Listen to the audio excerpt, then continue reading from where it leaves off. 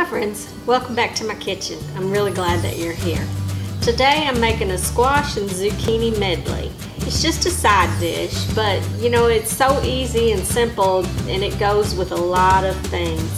So let's get started. So here I have about four squash just sliced up and one small squash.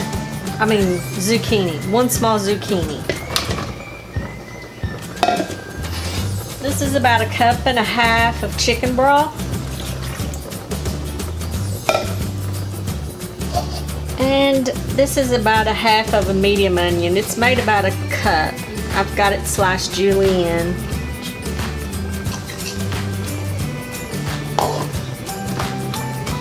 I'm going to turn it on uh, about medium heat and let it come to a boil. Uh, put some seasonings in here. Just salt and pepper this to your taste. I know that looks like a lot, but I've got this turned upside down and I'm, I've used it as a, as a shaker for a long time. I do have a shaker, I just, sometimes I'm a little ornery, I guess.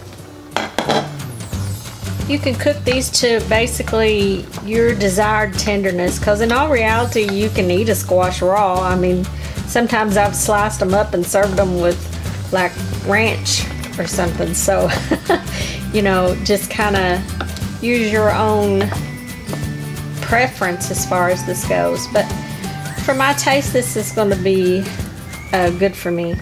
The seeds don't bother me but for some people they do if if they bother you, then you might want to, um, you know, scoop those out. Um, it's just preference, guys, up to you. All right, thanks for watching.